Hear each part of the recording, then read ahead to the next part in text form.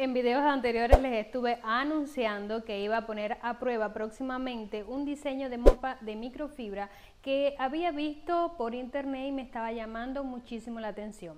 Ya saben también, si ya vieron ese video y si no lo han hecho, se los voy a dejar enlazado en la cajita de descripción, que me he inclinado por utilizar más las mopas de material de microfibra por todas las ventajas que ofrece. Así que si quieres saber de qué diseño te estoy hablando, te invito a que te quedes hasta el final porque te estaré dando mis primeras impresiones y además te diré si realmente vale la pena teniendo en cuenta la relación precio-calidad, porque no son tan baratas que digamos. Comencemos con el video de hoy.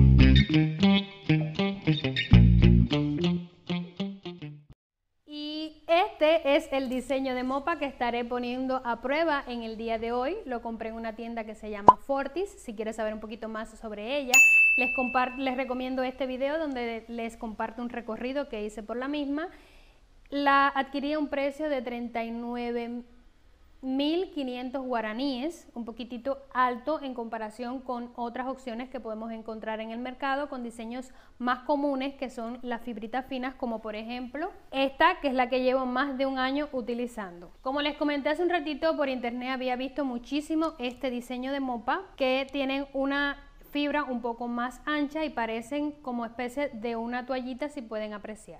Viendo un poquito el empaque podemos apreciar que es desarrollada por una marca que para mí es totalmente nueva. Yo les digo, solamente en el Paraguay, en el tiempo que llevo, he utilizado dos marcas, una chilena que se llama Virutex y también creo que es conocida en otros países como la marca TAS, les voy a dejar el nombrecito por acá abajo, y la, una marca nacional que se llama Dumox Pro. Así que voy a experimentar con una marca totalmente nueva y producto totalmente diferente. Marca se llama Limpio Sol, como podemos ver, y por lo que estuve buscando en internet es una marca argentina que surgió en el 2010 y ya se ha expandido en diferentes países. Y aquí podemos ver a Luna que está curiosa mirando el empaque porque a le encanta venir y revisar todo lo que uno abre. Sigamos detallando aquí el empaque. En la parte de atrás lo que podemos ver son las características de esta mopa que son básicamente las características del material de microfibra que es absorbente, en este caso te dice que absorbe 8 veces el peso. Por otro lado destaca también de que no te deja ni, no te deja pelusas ni tampoco te raya el piso, que atrapa perfectamente cualquier tipo de suciedad y sobre todo el polvo. También te dice que tiene un borde anti-choque que es para proteger tanto los muebles como las paredes. Y ya por lo que podemos apreciar en este empaque no hay más detalles, no hay ningún instructivo ni datos asociados a cómo tú vas, a cómo tú debes cuidar o darle un mantenimiento a esta mopa en específico, pero supongo yo que al ser de microfibra también le des el mismo trato que a todas las otras. Ahora vamos a sacarla del empaque. Y lo único que compras cuando adquieres esta mopa es específicamente la mopa, es decir, no viene con un cabo, no viene con un palo, no sé cómo le llamarán ustedes, pero por lo que podemos apreciar tiene una rosca que parece ser universal. Como ya vieron al principio del video es así, aquí les muestro. Yo he utilizado un palo que es los que vienen con el otro diseño de mopa que ya como les dije llevo un año, más de un año utilizando. Y este palo también tiene una rosca universal así que encajaron perfectamente y aunque no son del mismo color no se ven tan feos y ambos colores me encantan para utilizar en herramientas de, que empleo en la limpieza de mi hogar.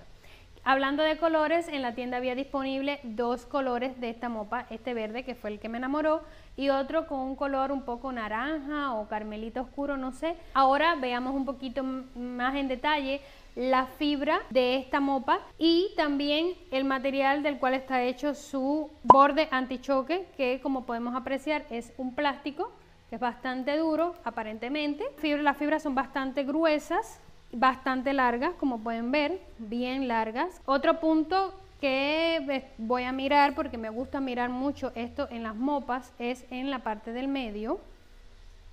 Y miren, tiene este plástico también, que es el que agarra todas las fibras y al parecer las agarra perfectamente, así que creo yo, y eso lo vamos a poner también a prueba con el tiempo y se los estaré actualizando en algún momento, que al chocar como me había pasado con otras mopas que he tenido, eh, con la silla, si se queda enganchado, pues creo que no se va a zafar fácilmente, así que tiene un buen agarre su plástico. Y también vemos que se ajusta muy bien, es decir, que no está tan apretado, por ende no creo que se vaya a partir con facilidad con el tiempo, porque como yo utilizo un cubo con un escurridor, uno al exprimir esta mopa, haces un poco de fuerza y con el tiempo se puede llegar a partir el plástico que se encuentra en su interior sobre todo. Pero bueno, ya eso, vuelvo y les digo, con el tiempo lo estaremos poniendo a prueba o lo estaremos corroborando, pero aparentemente ese problema no lo vamos a tener con esta mopa. Si les confieso que no es la mopa que yo esperaba, les voy a dejar por aquí al ladito un fragmento de un video donde se muestra la mopa que yo pensaba ver. Este diseño que están mostrando específicamente ahí tiene en la parte del medio un accesorio que evita que al momento de que el plástico que se encuentra en el interior entre en contacto directo con el piso. Por otro lado, si pueden apreciar las fibras de esa mopa es como, como que está doblada y siento que, hay, que puede tener más protección la mopa porque miren, aquí les muestro, esta es solo una toallita larga, no hay un doblez, no hay nada y si pueden también detallar en el bordecito, quedan como unos hilitos, no sé, me da una sensación de que con el tiempo esto se puede ir deshilando, pero bueno, el tiempo es testigo de todo y el tiempo nos dirá si se deshila o no se deshila. Es bastante suave al tacto, me gusta. Y nada, no tengo más nada así que decirles sobre esta mopa, simplemente vamos a pasar a poner la prueba para ver cuáles son mis primeras impresiones, para ver si realmente vale la pena. Así que nada, acompáñenme porque vamos a probarla. Vamos a estar probando si el tamaño de su escurridor me va a servir para poder exprimir esta mopa. Y bueno, así seca vemos que sí cabe perfectamente.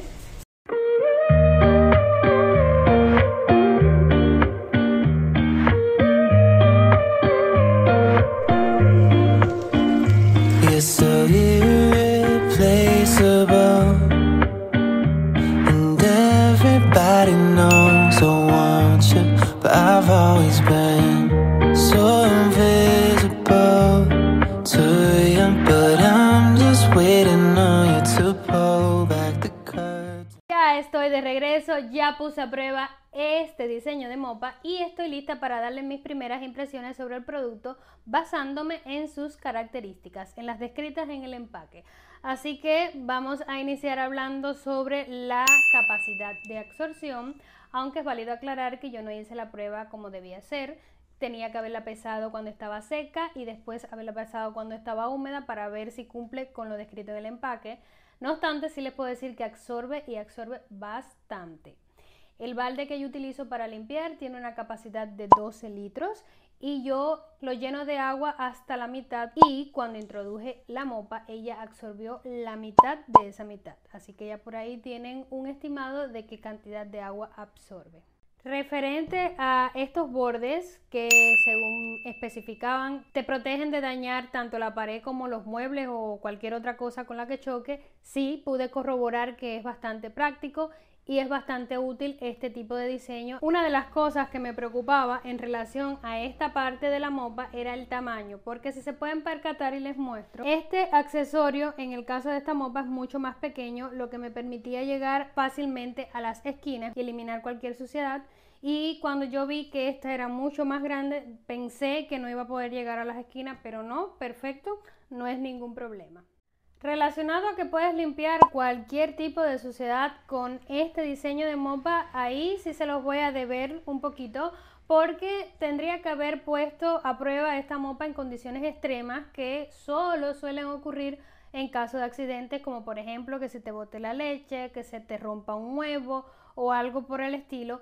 Pero como no es lo que normalmente ocurre y si pasara tampoco lo limpio utilizando la mopa directamente. La puse a prueba sobre un entorno real, el entorno cotidiano, la suciedad que comúnmente queda en mi piso y funcionó perfecto, eliminó perfectamente la suciedad y el piso quedó brillante idéntico a si hubiera utilizado este otro diseño de mopa. Y haciendo referencia a la característica de que atrapa el polvo y no deja pelusas, les puedo confirmar que efectivamente hasta ahora en, este en esta primera prueba no dejó ninguna pelusa. De hecho, pueden apreciar que una de las cosas que me preocupaba en que se fuera a deshilar o cualquier situación extrema de esa, no, no pasó nada. Yo la exprimí bastante y la fibra está igualita. Y para yo evaluar si realmente atrapó el polvo o no, yo miro los resultados que quedan en el piso y les puedo decir una vez más que quedó brillante, quedó bien, así que es señal de que sí, que sí atrapa perfectamente en polvo, así que también cumple con esa característica. Y si les tuviera que decir algo negativo sobre este diseño de mopa en esta primera prueba, yo diría que es su peso.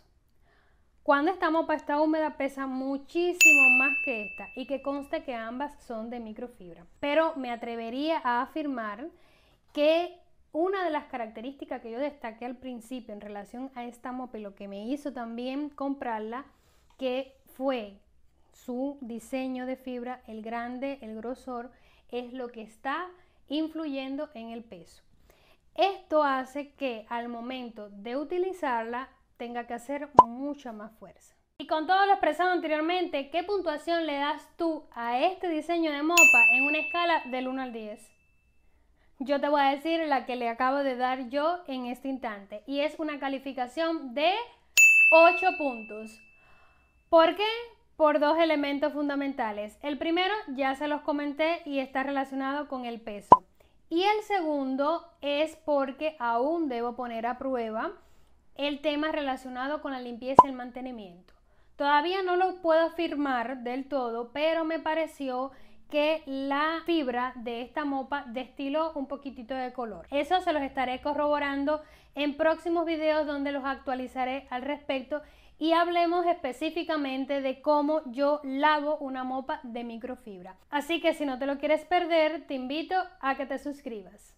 Y sin más nada que decirles mis amigos, me despido con esta nueva compañera de trabajo con la cual hasta ahora estoy bastante satisfecha y nos estaremos viendo en un próximo video. ¡Chao!